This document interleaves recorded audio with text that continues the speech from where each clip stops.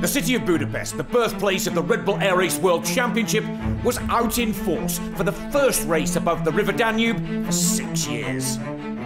Two names dominated the build up to the action. One was Peter Besenyei, the home hero and inspiration behind the event.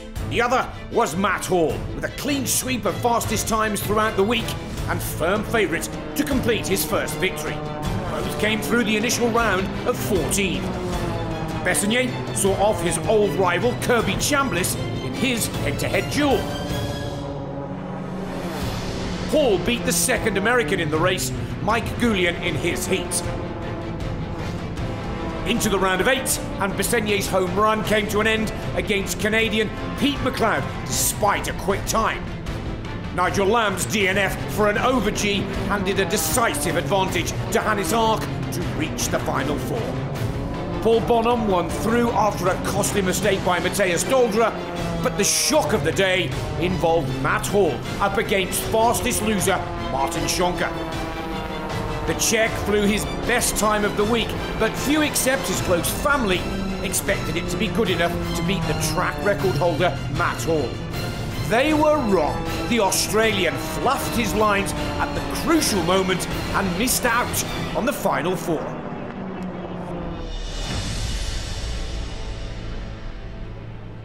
I don't know what happened because I thought it was just the, exactly the runs I've been doing all week, so not sure why I lost a second.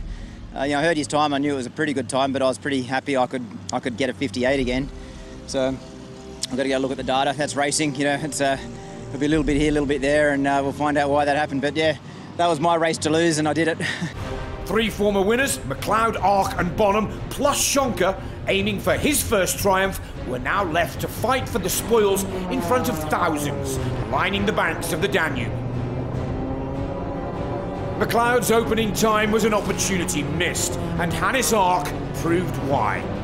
The heat was on, but the Austrian revelled in it. He set his fastest time of the whole week.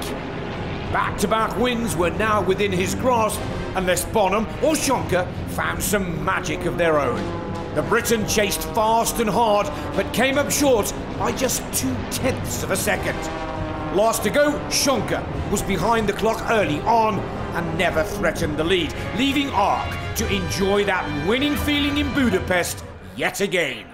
I was hoping all week that Matt is doing a mi uh, mistake because if he's performing normal, he was unbeatable here.